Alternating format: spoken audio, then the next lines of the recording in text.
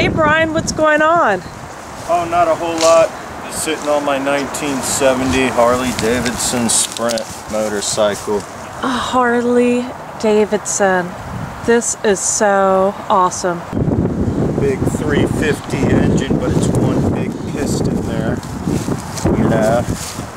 And uh, so, guess who made the motor? Who?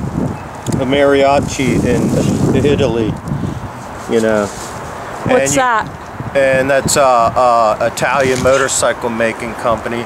American Motors Corporation made the, the rest of the bike.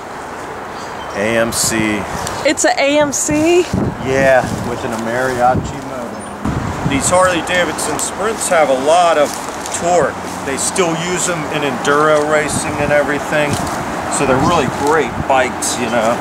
They're they're small, you know, imagine like you know, more if you're 18, it's the, the greatest thing you could have had in 1970. I mean, they really? nothing, yeah. Oh, really? Yeah, they but they're still, like uh, oh. A, I think someone said that, I can't, I don't know the exact figures. Give us a ballpark but if you have it. someone said 600, I don't know if I believe that. All right, well, let's wrap this up because it's starting to thunderstorm. lot. Thanks for coming out and looking at the bike. It's a beauty.